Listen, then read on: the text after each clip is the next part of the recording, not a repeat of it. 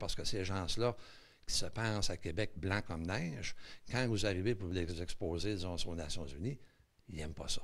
Là, ça fait réagir. Si M. Dubé fait appel à l'ONU, c'est d'abord pour attirer l'attention des élus. Il croit cependant que ses droits sont bafoués parce que la construction d'infrastructures successives dans la région cause des nombreuses inondations et enlève de la valeur à son motel. On a mis un barrage de 4300 pieds de long. Et en 1973, on a rajouté un pont.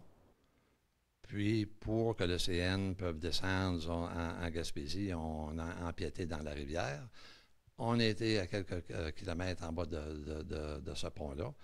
On a mis un mur de roche. Outre les inondations annuelles, la perte de rentabilité de la pêche du saumon, principal moteur économique du motel, ajoute au défi de Pierre Dubé.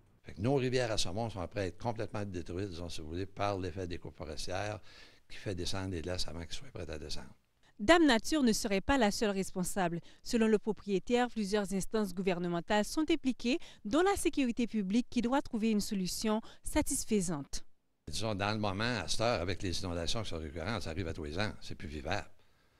C'est absolument plus vivable. Disons, il faut absolument que le gouvernement fasse quelque chose qui, qui exproprie ou qui, euh, faire subir les bâtiments. Les infrastructures adjacentes et les coupes forestières qui nuisent à la rentabilité de l'établissement ne sont pas prêts de se volatiliser. Si rien n'est fait, le motel vieux de 110 ans a de fortes chances de faire partie du passé, selon le propriétaire.